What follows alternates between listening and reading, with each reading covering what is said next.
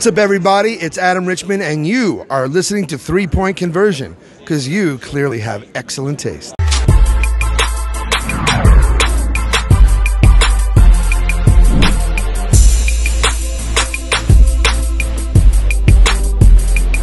You say you've had experience with Diana Taurasi and Brittney Griner with Team USA.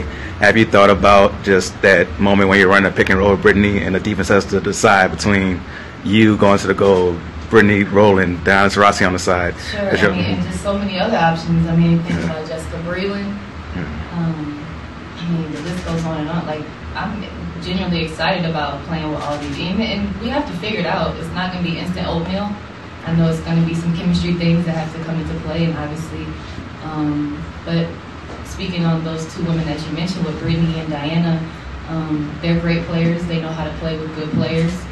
Um, and yeah, uh, I mean, I think about it all the time. I think about throwing an alley oop in the air to Brittney, um, just being able to be more aggressive on defense, having that behind me, um, that front court, and um obviously on, on offense things get really, really exciting. Uh, being able to come and have the ball, make plays, have somebody like Diana who you can't help off of, giving Brittney space, and um, yeah, it's, it's a lot of possibilities are endless. You know, with that lineup, I think it could be crazy.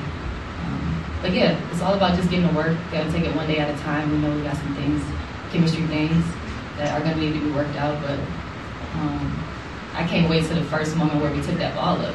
You know, I think that's gonna be um, so crazy this year, and, and it, it's a difference for me going from um, you know a team that's that's usually kind of rebuilding or don't really have very many expectations to instantly come into this team is going to be expectations. Uh, this is a team.